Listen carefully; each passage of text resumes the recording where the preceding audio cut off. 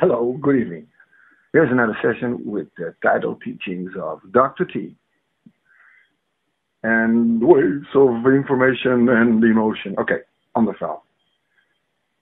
Winter is knocking at your door. We are starting to be attacked by viral diseases again and bacteria, such as the flu and other common colds, bird flu, cow's flu, uh, I don't know what kind of fish flu. what do you do against the flu? This is what you do against the flu.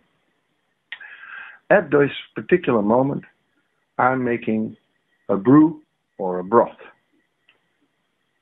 Um, I'm making an antiviral medicine. I'm going to put, when it's, I'm going to let that simmer for a while the water with the with the herbs I'm going to tell you about. I'm going to let it simmer actually for a couple of hours.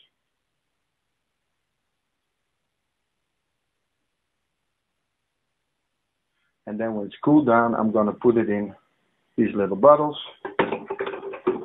you know, and um, they in the fridge. They stay well for several weeks at least, and it's an anti flu medicine by Dr. T.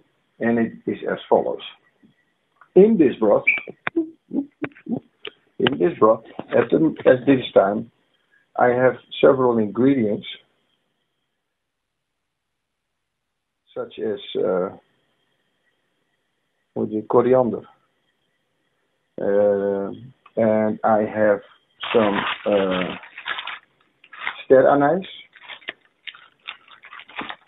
you know, those little things. Very nice. And of course, I put in fresh ginger, cut it up, bruised it before I put it in. And I put in some stem, stem of. Cinnamon. Cinnamon. Yeah. And the cinnamon, you bruise it also. It smells really good. And I also put in some mustard seeds and a few peanut butter. Only a few of those. I even put in some mushrooms from um, uh, France, from the forest, because this combination, if I let it brew, it's going to make a lovely winter antiviral little bottle with of medicine.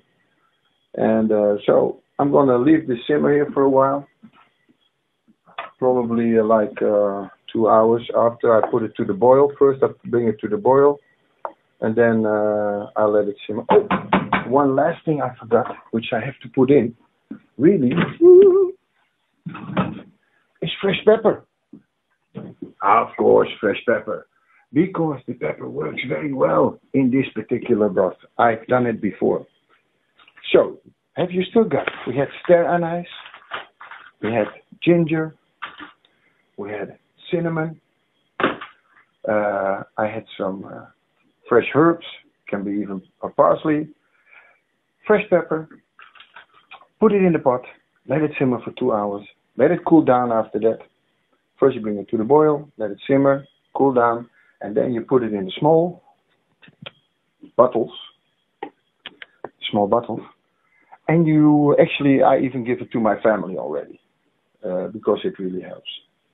So, uh, because after it's cooled down, of course, you got to put it through a, a sieve. Uh, but then you've got some nice things. I hope uh, it will be of use to you all. Uh, make your own broth. Uh, it will uh, guide you uh, through the winter. You can uh, gurgle with it even before you swallow it. Uh, just don't swallow. Gurgle with it. It's good for your sinuses as well. You don't have to use too much. A little bit every day keeps the doctor away. I bid you all a healthy day and uh, till the next title teaching of the doctor.